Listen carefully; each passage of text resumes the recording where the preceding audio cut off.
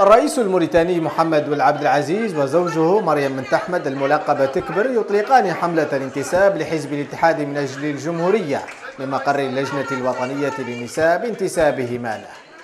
ويقول الحزب إن الحملة تهدف إلى تفعيل هيئاته وسط انتقادات من طرف المعارضة لمشاركة الرئيس في حملة الانتساب معتبرة أن ذلك يخالف الدستور. فيما يؤكد الحزب أن الدستور لا يمنع الرئيس من أن يكون مناضلا ومنتسبا للحزب الذي يريد.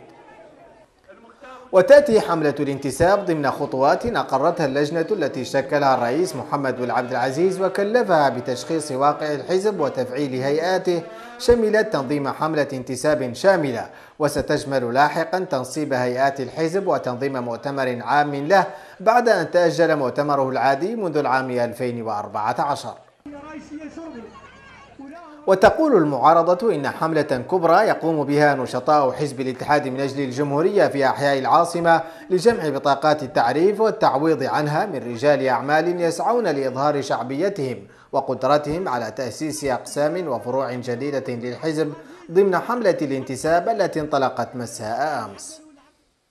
وقد رد رئيس حزب الاتحاد من أجل الجمهورية سيدي محمد والمحم على ذلك بتغريدة على حسابه في تويتر قال فيها إن الانتساب للحزب هو عمل شخصي وحضوري. يلزم فيه حضور المنتسب شخصيا إلى مكتب التسجيل ولا تقبل وكالته في ذلك وإن ذلك هو ما تنص عليه مقتضيات النظام الداخلي للحزب ودليل الحملة بشكل صارم. وفق رئيس الحزب.